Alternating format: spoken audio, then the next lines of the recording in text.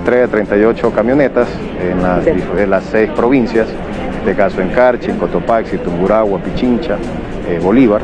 Eh, es parte del proyecto, la entrega son mil camionetas, como bien lo dijo nuestro presidente.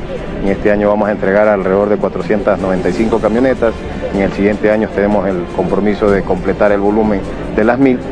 Dos en el Cantón Huaca y una en el Cantón Bolívar. Posteriormente se tiene a favor también para el próximo año otras camionetas para nuestros agricultores carchenses. El nuevo Ecuador resuelve.